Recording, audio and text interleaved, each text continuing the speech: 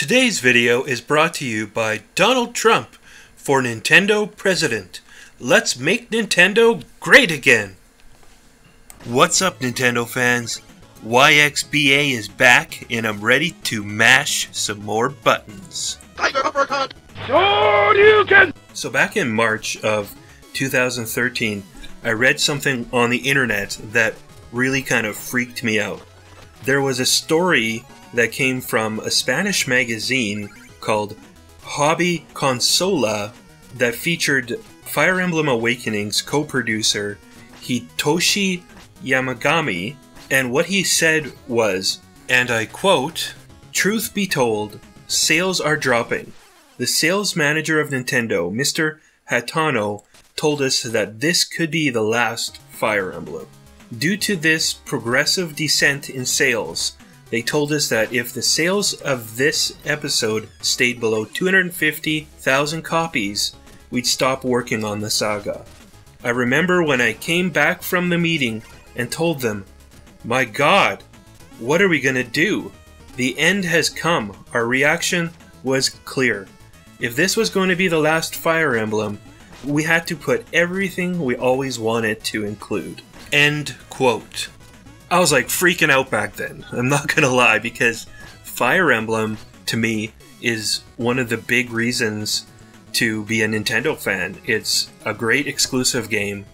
It's a strategy game, turn based strategy. It has an amazing story, and the gameplay is just phenomenal. And it's also got a lot of respect among hardcore gamers who really like a challenge.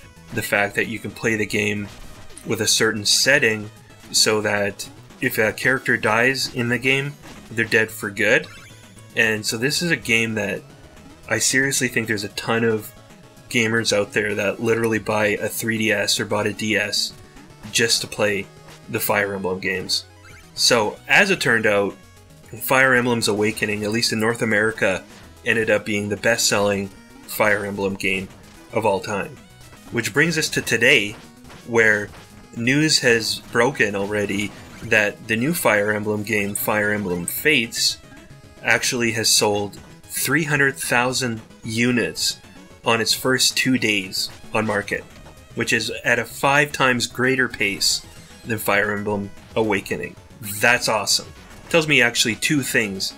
One is that Fire Emblem is something that is here to stay and it is growing, and we're going to continue to get Fire Emblem games, and they're probably going to be able to justify even larger budgets for Fire Emblem in the future.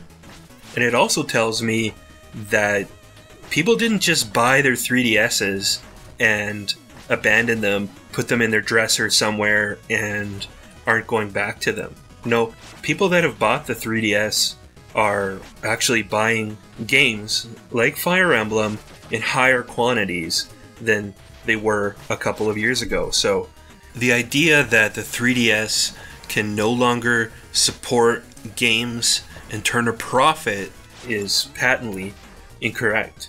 This is awesome. I'm excited.